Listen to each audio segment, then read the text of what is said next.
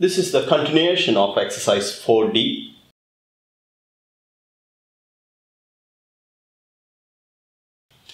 We have question number 4 here. You have this expression 2 plus x times 3 minus ax to the power 4 and the coefficient of x cube of this whole expression is 30. They want you to find the three possible values of a. Now, the first expression has only power 1, so keep it as it is. 2 plus x. The second one has power 4, so we need to expand it using binomial expansion. The binomial expansion is a power n, first term power n, plus nc1, a power n minus 1, b power 1. b is the second, plus nc2 a power n minus 2 4 minus 2 b power 2 plus nc3 a power n minus 3 b power 3 I'm gonna stop right here at x cube because even after you multiply you will get x cube terms. If you take the next term it's x power 4 even when you multiply by this you will get x power 4 only. We don't need that.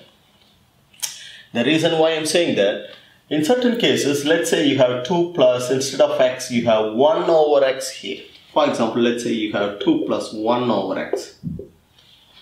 In this expression instead of this. In this case you need to take x power 4 also because when you open the bracket when you multiply this by x power 4 the x and x will be cancelled, you will get x cubed. And we are talking about coefficient of x cubed here. So you need to be very careful, you need to be very careful here. If you have x in the denominator, it can be x, or if let's say you have x square here, you need to take the term with x power 5. In this case, you won't have x power 5. Now, next step, we need to simplify this and open the bracket, multiply everything, and then take coefficient of x cubed. 2 plus x. 3 power 4 is 81. 3 cube is 27. 4c1 is 4. 4 times 27. 80, 28. 108 minus 108 ax. And 4c2. 4c2 will be 4 times 3 by 2, which is 12 by 2 is 6. Times 9 is 54 this becomes positive. 54 a square x square you need to square both 4c3 is same as 4c1 4c3 is 4 4 3s are 12 this becomes negative because when you cube it 12 a cube x cube. So that's your next step. You need to carefully simplify the terms. Now listen to me very carefully. We are going to take the coefficient of x cube you can open the bracket, take 2, multiply everything, take x and multiply everything, write the expansion here and then take coefficient of x cube. Or you got to be a little bit smart here. You don't need to open the bracket and multiply everything because we are concerned about only the x cube term, right? So take only the x cube term. When you multiply 2 by this, it's a constant. 2 by this, it's a term involving x, we don't need that. x square, we don't need 2 times this will give you x cube. So 2 times this will be minus 24 a cube x cube. The same way, take the second term.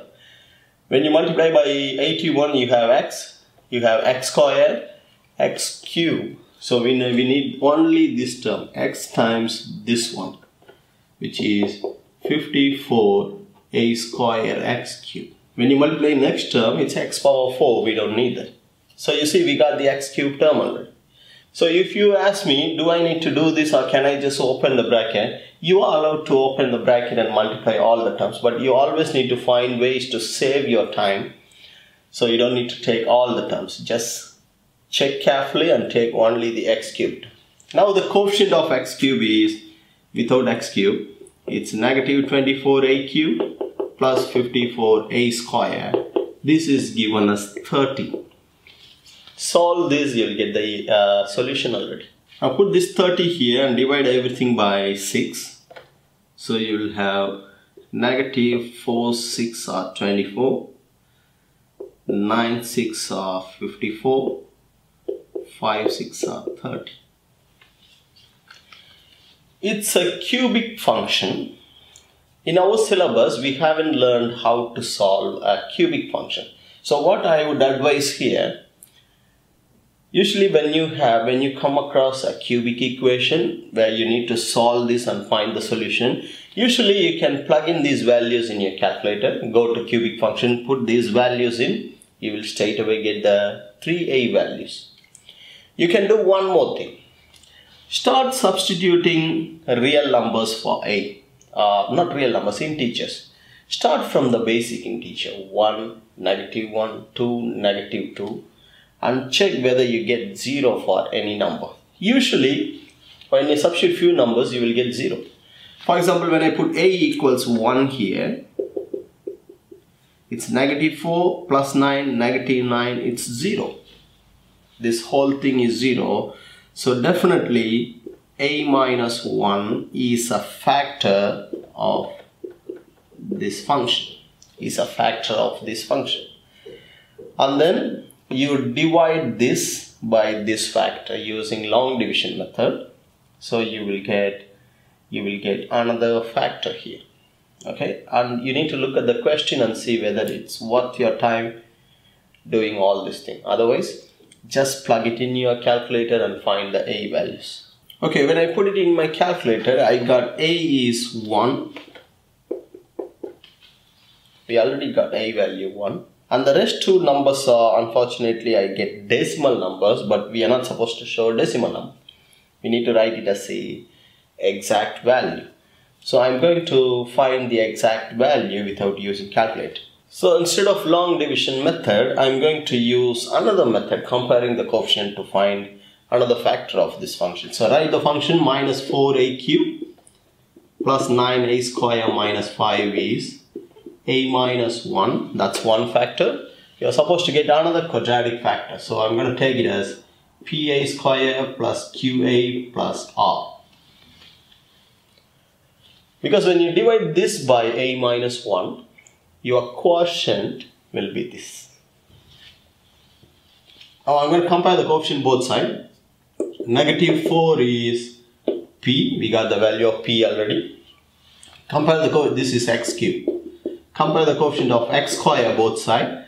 9 is you get minus p plus q. Because you'll get qa square. We know p is negative 4 minus p is 4 comes here 5 q is 5 and then replace a by 0 so comparing the coefficient of a cube and a square now I'm gonna put a is 0 so I get negative 5 is, this is negative 1, 0, 0, R. So we got R is 5 already. You see I got the quadratic expression already which is P A square plus QA plus R. And solve this you get two other A values. So the two A values are A is 5 plus or minus square root of 105 divided by a. so we got two values here here one value total of three values so let me repeat this again when you ended up with this quadratic equation the first thing you need to do even you put uh, all the coefficients in your calculator you will get the value some calculator will give you this exact figure instead of decimal that's fine but you need to learn this method also. First replace A by positive 1, check whether you get 0. You don't get 0, move on, negative 1, 2, negative 2, 3, negative 3. When you start substituting few values, you will get a factor already. When I started with 1, 1 gives me 0, so straight away A minus 1 is a factor. And in factor theorem or long division method, we learned we can divide this polynomial by a minus 1 to get the other factor. Or there is this method comparing the coefficient. You can write this as your divisor times quotient. The quotient should be a quadratic equation, quadratic function. and then compare the coefficient of a cube, a square or the constant term both side. You will get the value of PQR. So we got the quadratic expression now. Solve this, you get other two a values.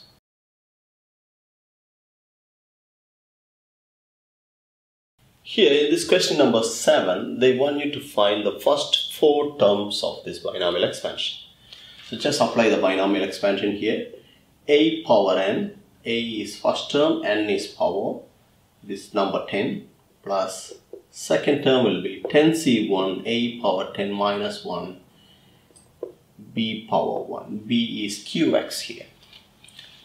And then 10c2, a power 10 minus 2 b power 2 10c3 a power 10 minus 3 b power 3 we got four terms. 1 2 3 4 terms. Expanded 1 power anything is 1 10c1 is 10 10 qx because 1 power 9 also 1 10c2 will be 10 times 9 by 45 you get 45 q square x square and 10c3 10c3 will be 10 times 9 times 8 by 6 which is 9 times 8 by 6 is 3 2 4 12 120 if I'm not wrong double check with your calculator please q q x q so that's the expansion that's all now part B of the question says the coefficient of x cube in this expansion is 108 times the coefficient of x. So they want you to find the value of q. So here, usually when they talk about, let's say you don't have this part, part A is not there, only you have this question. We need to use the general term we learned to find the coefficient of x cube and x instead of writing the whole expansion because the general term is much easier. But here you don't need to do that because we have the expansion already. Take the coefficient of x cube first which is 120 q cube equals the coefficient of x cube is 108 times coefficient of x which is 10 cube. This solve this you'll get the values of q. Put this here 120 q I'm gonna take q as a common factor q square minus 1080 equals 0 so q is 0 and when you solve this you will get q is plus or minus square root of 1080 by 120 so whenever you get values like this, always go back and read the question properly. Sometimes they will mention like q is greater than 0 or q is a positive constant or something like that. So the question says q is a non-zero constant. So just leave this, take only this one. Plus or minus 3. Positive 3 or negative 3. That's all.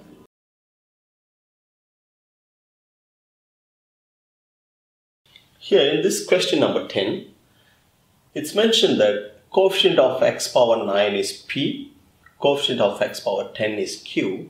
They want you to find the value of q over p. Use the general term of a binomial expansion which is NCR a power n minus r b power r. Use this and find the coefficient of x power 9 and 10 first. Replace n by 30 or First term is 1, 1 power 30 minus r. Second term is x power r. So when they say x power 9, the r has to be 9. So the coefficient of x power 9, which is p is 30c9. 1 power anything is 1, x power 9. So we don't need to take x power 9, we take only the coefficient. Q is 30q is a coefficient of x power 10. So replace r by 10. We got two values, divide them. So q over p is 30c10 over 30c9. So the answer is 21 over 10. or you can write it as 2.1 that's all